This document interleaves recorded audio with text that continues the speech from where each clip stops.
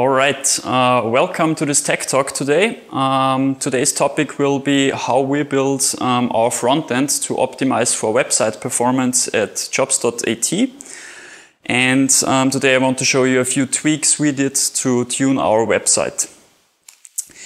My name is Jürgen Ratzenböck. I am the head of technology at uh, JobsAT, and in my daily work, I deal with um, a lot of backend and front-end web development. And technology-wise, um, yeah, I work a lot with uh, PHP stuff and especially the Laravel framework.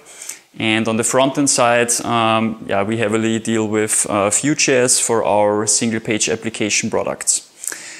So you can find me on the social networks if you have any questions um, regarding this talk or you want to know more about JobsAT, um, just hit me a line um, and one of the contact opportunities.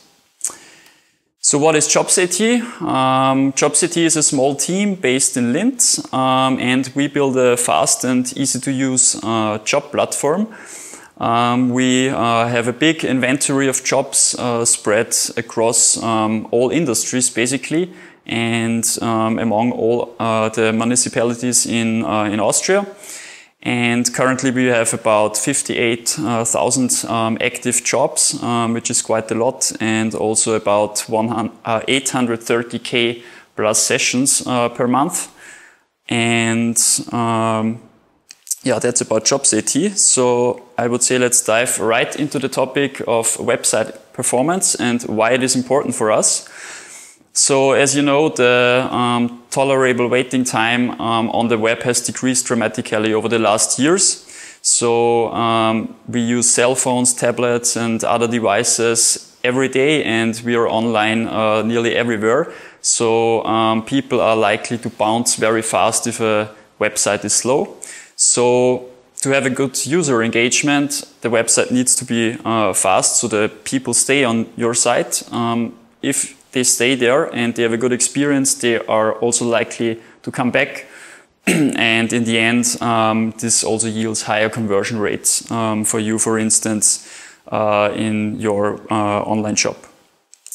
And secondly, um, which is also very important for us, is uh, Google. So um, Search engine optimization depends a lot on uh, web performance, so um, we don't, don't know all the details how Google um, ranks the, the sites, but they um, clearly say that uh, fast websites are important for them, and to have a good um, ranking, um, you need to take care of this. And uh, yeah, I also included three quotes of quite popular and successful companies which once more highlight that uh, web performance is um, important for, for a business and that you should take, um, take an eye on it. So the question is, when can I consider my website to be fast? Um, and there are multiple um, answers possible. So actually a lot of different metrics exist um, among this cycle of requests um, to the response. Um, there are uh, metrics like the time to first byte, which um, indicates um, whether um, your server or backend works good. Um, there are things like the um, onload event or the DOM content loaded, uh, which give you a feeling when the, the rendering part is done. But lately, or over the last few years, um, Google introduced a few new things, and they are so-called user-centric performance metrics. So they are more towards um, how the user actually perceives the loading time of the website. These are things like the first contentful paint, for instance, which indicates when is the time when the user first sees relevant, um, relevant things um, rendered on in the browser, or when does the website become interactive. And uh, very lately, um, they tried to simplify all those um, uh, metrics into three um, so-called core web vitals, uh, which they put more emphasis on right now. So they actually announced that they will start with June now to make this um, uh, impacting the, the search rank. And so this will become more important it goes actually beyond the scope of performance because right now it focuses on um, the loading time, the uh, visual stability of the website and the interactivity. And um, so this is definitely something you should keep in mind uh, when uh, tuning or, or uh, evaluating your website. Now that we are already at evaluation, there are different tools. Um, I think most of the web developers know, like PageSpeed Insights, which is around for years now. And there is also Google Lighthouse, which gives you even more details about also how compliant you are with SEO best practices or uh, progressive web app and uh, things like this. And the tool I really like is webpagetest.org because it gives you very detailed insights with a waterfall um, diagram where you can really look into every every request so you then know how long does TCP handshake takes or DNS resolution and so on. So these tools are really great and they give you a lot of hints where you are and what you can do. And what you can do is um, the next part, um, I picked a few things um, we did over the last few weeks and months um, and want to show you how you can uh, leverage those to, to tune your website. All right, first of all, um, one thing which I think is quite underestimated but very powerful are resource hints. Um, so typically the browser, when, he, uh, when, when, the browser hits a, a resource, um, it gets downloaded and it gets executed like a JavaScript, for instance. But with those resource hints, you can tell the browser, hey, um, please do something else basically with this resource. And there are different opportunities. Um, the first one, the most lightweight one, is this called DNS prefetch. So you can tell for some resources that the DNS resolution should take place um, earlier. And this runs in the background basically and the browser then um, can continue with the execution and when the uh, uh, when the resource is, is ready, um, the DNS res resolution has already taken place, so it's much faster. Um, similar is pre-connect, but it goes one step further, so it also does the TCP handshake and the TLS negotiation. And um, yeah, these two things are um, recommended for especially third-party tools or where you build um, your uh, resource URLs dynamically, so you can already do some of the work up front. Um, so um, yeah, for this it's quite it's quite um, nice um, to optimize there. And then there is also prefetch and, and pre-render. So prefetch um, is especially for navigation. So when you can anticipate um, how the user interacts with your page. So you know when he is on page A, he will yeah, very likely go to page B. You can already prefetch resources and store them in browser cache. And then when the user navigates, it's nearly instant there, um, which is quite cool. Um, and pre-render then really renders the whole page. So it not only downloads the things and stores it in browser, but also executes everything. Um, you have to be cautious, however, because this yeah, um, obviously uses a lot of uh, browser resources and these should not be uh, wasted because it takes bandwidth. So especially for prefetch and pre-render, you really should know where the user goes and um, yeah, otherwise, it does not make that much sense and it can even have negative impact. But all in all, those are quick wins in my opinion because yeah, it's just um, the this one rel attribute and um, then it's done.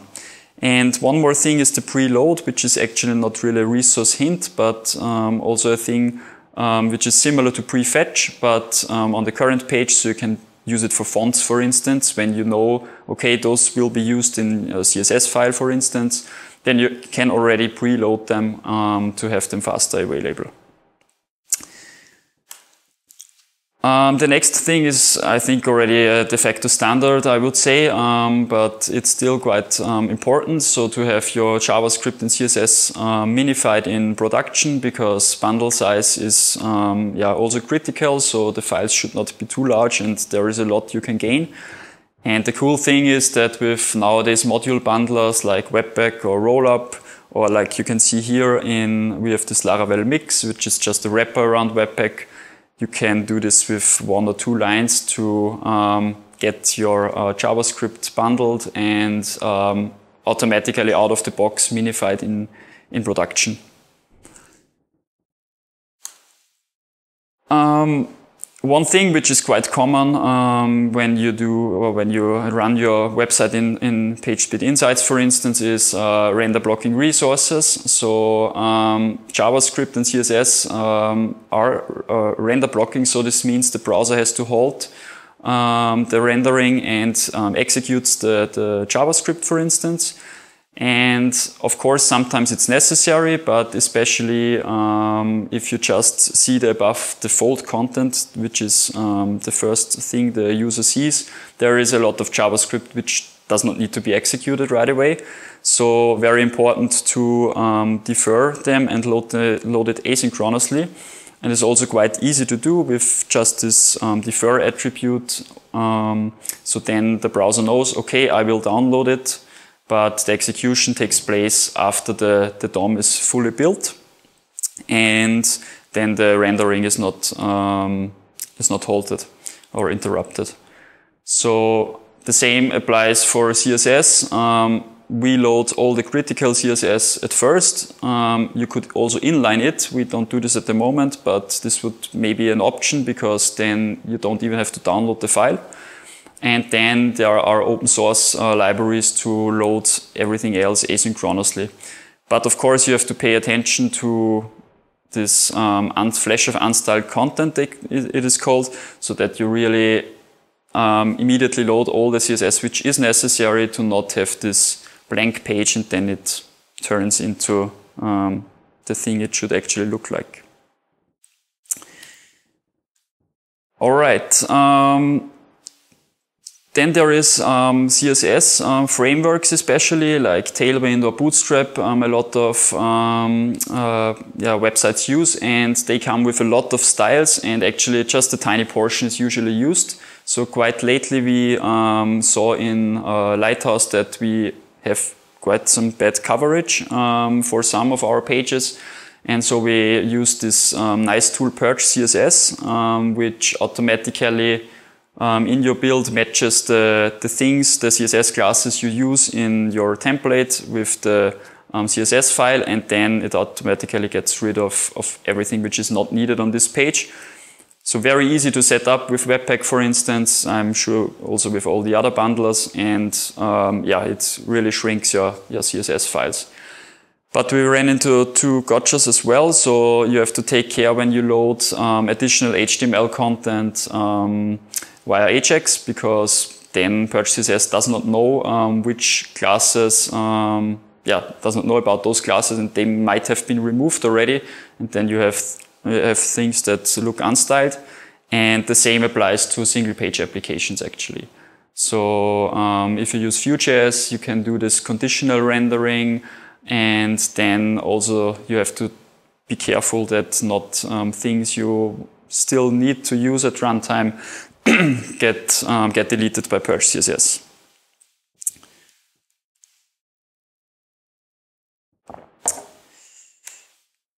All right, and uh, last but not least, um, one more thing uh, I want to talk about is code splitting. Um, so before I also thought that it's best to have everything into one JavaScript file because there's just one file uh, downloaded by the browser and this is fine and maybe have one vendor um, JavaScript file where you get um, bundled all the third-party things. But actually it's much better, um, especially if your JavaScript grows, to split this into chunks um, and only load those chunks which are really required on this particular page. And there are multiple opportunities or possibilities to um, how you can do this. Um, in, on the server side, we, for instance, have this asset manager, um, which we uh, yeah, implemented on our own, with uh, which then includes um, the JavaScript tag based on the um, HTTP controller we um, currently execute. Um, so we have a, a, a one JS file per route. But also there are other possibilities with Webpack, for instance. You can do um, splitting with the with the split chunks plugin, for instance, or in Vue.js, if you have client-side um, routing, then you can also dynamically um, uh, import modules with um, this uh, ES6 uh, syntax. And then, for instance, this customer login component you can see here is only loaded when it's when really the user navigates to this page. And um, yeah, it's also quite easy to, to do and um, very powerful. And um, yeah, shared bundles, you have also have to take care that they are not duplicated um, because um, with all those module imports, it can happen that um, uh, yeah they are um, actually twice included. So you should uh, be, take care of this as well. All right, to sum it up, um, having a fast website is definitely something which is important. Um, then uh, for evaluation, use the tools. They are really great and it absolutely makes sense to know where you are before you start to do anything. Um, it's also not rocket science to tune the web performance. I know there are a lot of things you can do, but um, especially uh, PageSpeed Insights and Lighthouse um, give you very good hints. And there are also great resources. Um, and uh, yeah, one more thing is definitely that web performance optimization is not a thing, a one-time task, but it's really a process because with every feature you um, implement and roll out, you could have an impact on the web performance. So that's something we also um, currently work on that we have really like automated processes which are integrated in our continuous integration to tell us, hey, um, there is something which uh, does not um, look that good anymore.